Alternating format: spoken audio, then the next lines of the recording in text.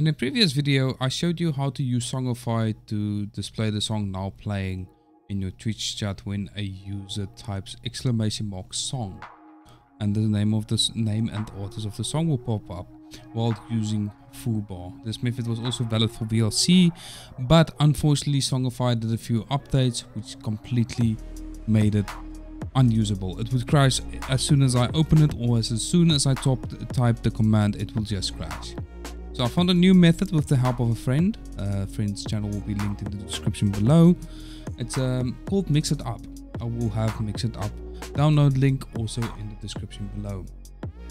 So I will also link you to another video which I show you how to log into Mix It Up and how to set up a bot account with it. It will be in the description below. So once you've logged into Mix It Up, you're going to be very much presented with the screen and seeing as you already have a file being written to by Foobar or VLC, a text file, the name of, the name of the song.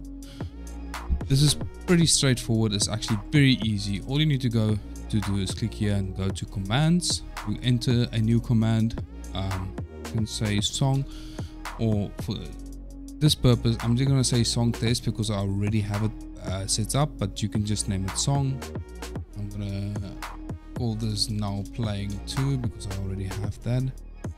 Okay and then the action what you want to do is you want a file read and write. And then you click on this one the plus. Not save to file read from file and you're gonna go browse. You're gonna go to the file which foobar is writing to the song name. Okay my case it's this one now playing. Okay. And then you type in response. Okay. Then you want to add another one which is a chat message. Okay. And what you want to do is, is you want to type response. And then you want to click save. Okay.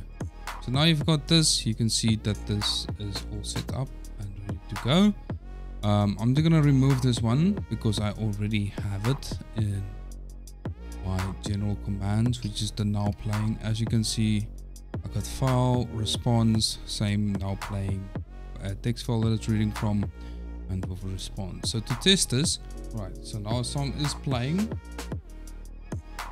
Okay, just to avoid copyright, I just muted it on my mixer. And when I type song,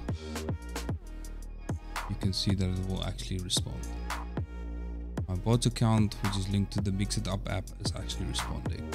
So yeah, you're all set up and ready to go. Thank you very much for tuning in. I do appreciate it. I hope this video helps someone out. Please let me know in the comments below.